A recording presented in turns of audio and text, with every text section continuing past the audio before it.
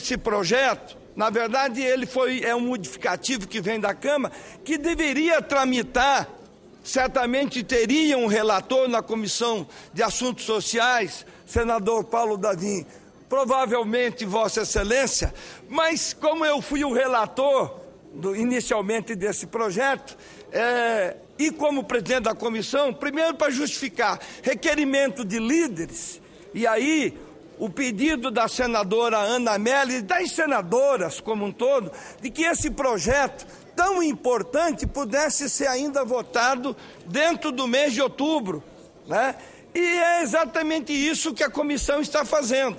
E eu estou fazendo então esse relatório em nome da comissão, o que vai possibilitar que o plenário possa apreciar até porque o substitutivo da Câmara, ele não, não tem uma modificação, o deputado Regufe fez uma, uma, uma modificação que eu, que eu acho que é apenas e tão somente de, de, de modificar a, a questão para que ela não pudesse ter, como ele mesmo disse, ter algum tipo de ambiguidade. Mas eu rapidamente, presidente me permitir, eu vou é, relatar aqui num, num parecer que eu acho é, importante que os senhores senadores é, entendam por que, eu estou dizendo que a modificação ela não é, é substancial.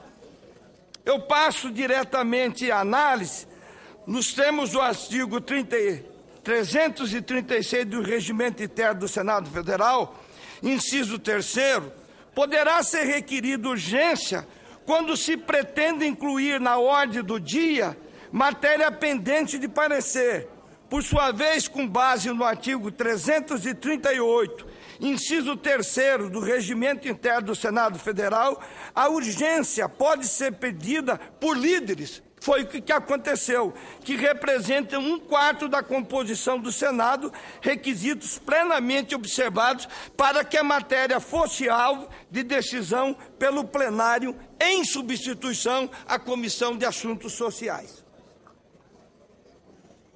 No que tange especificamente às alterações promovidas pela Câmara dos Deputados no PLS 352 de 2011, registramos que são de pouca monta.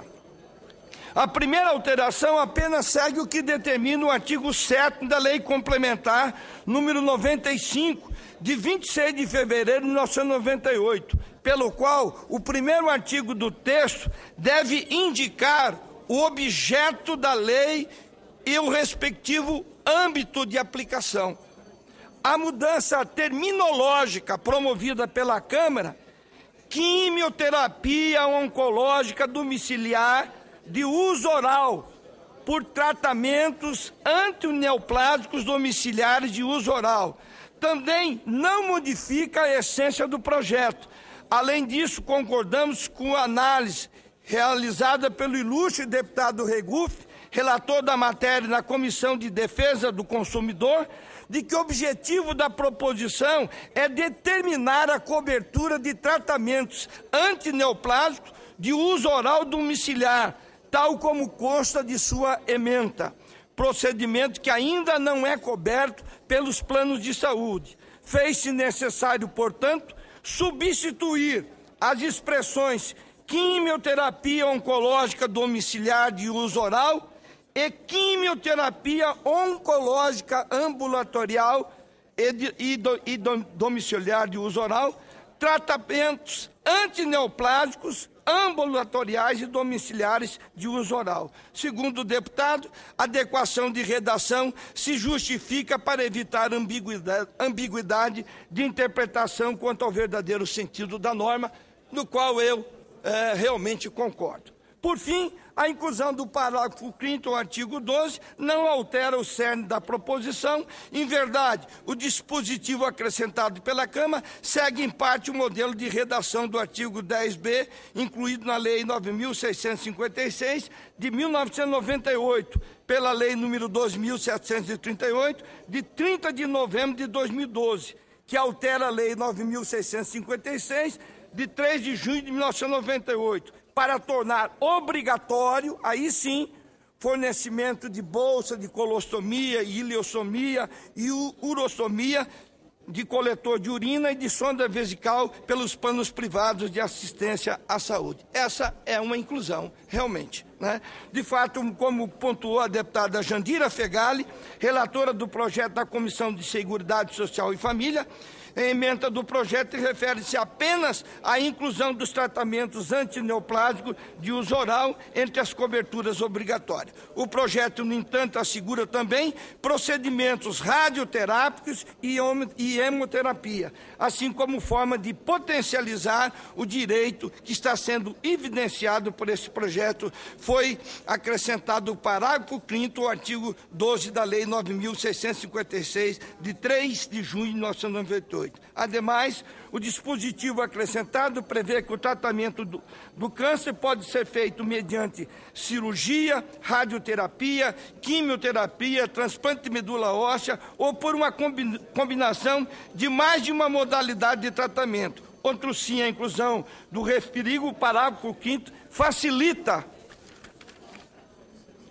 fracionamento do fornecimento de acordo com a prescrição médica, o que permite disponibilizar a quantidade necessária para cada ciclo de tratamento após o qual serão analisados a toxicidade e a tolerância do paciente ao medicamento receitado. A regra incluída também autoriza a disponibilização do tratamento diretamente ao paciente ou ao seu representante legal pela rede própria credenciada, contratada ou referenciada possibilitando o tratamento no tempo indicado.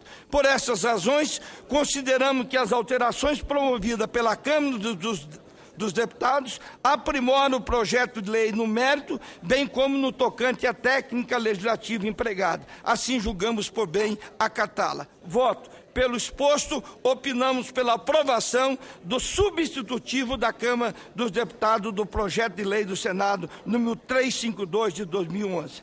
É o nosso relatório, senhor presidente. É, nós agradecemos ao senador Valdemir.